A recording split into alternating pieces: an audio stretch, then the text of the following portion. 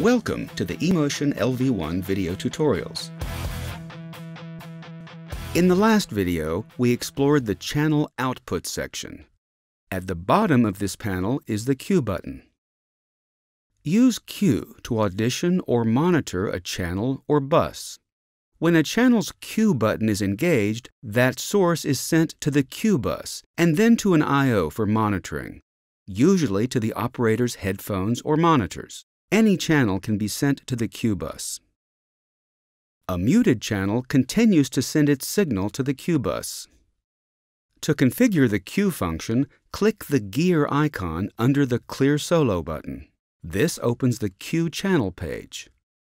You can also use the Channel Select drop-down menu to navigate to this page. Open the Input list to see the list of all channels and buses being sent to the Cue bus.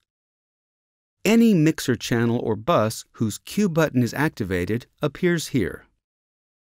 You can assign a channel to the Cue bus here. Or, more commonly, in a channel's output panel or in any mixer layer. Alternate input is a fallback input to the Cue bus when nothing else is assigned. Use the drop-down menu to select a channel or bus.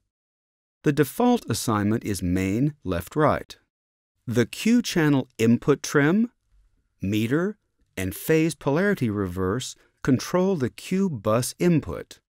Left and right sides of stereo channels can be locked together or controlled separately. Alternate input is not affected by the input trim setting. The Cue plugin rack can hold up to 8 plugins. Since there is no central control section in this view, plugins are controlled directly in their plugin panes. Click Back to Main to return to the Cue channel page. The middle section is used to configure the Cue solo function. It's divided into two sections, Operation and Source. Cue Solo Selector toggles between the Cue and the Solo in Place mode. In Cue mode, the Cue signal is sent to the Cue bus and then to IOs for monitoring. The main mix outs are not affected.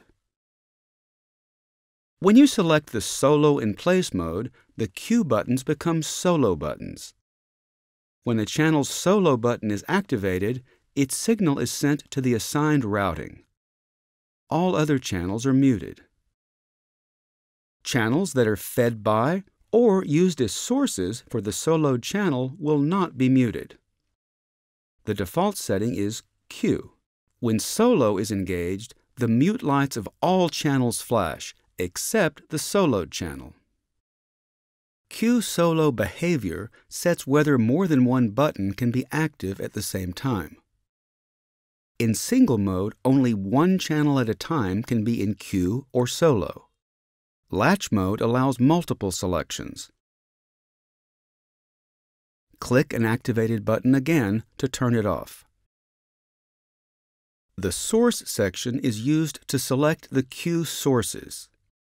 Each category of channel, input channels, groups, auxes, and so forth, can be assigned specific sources. All channels of a type will exhibit the same source behavior. These source selections are for internal routing to the Cue bus and do not affect the Cue channel sources to IOs. The Cue bus can be patched to any of the available IOs. Select Open List and assign IOs to the Cue output. IOs can be assigned to delay groups and their delays adjusted. Trim adjusts the level to the selected I.O. Use the Source selector to choose the source of the Cue channel output to patched I.O.s. This setting affects all I.O.s assigned to the Cue channel. When Cue or Solo buttons are active, the Clear Solo button in the top bar is illuminated. Click here to clear all cues and Solos. The eMotion LV1 Cue system allows you to monitor specific channels and buses. The next lesson is about the talkback function. You can use it for communication or to distribute a signal such as a reference tone.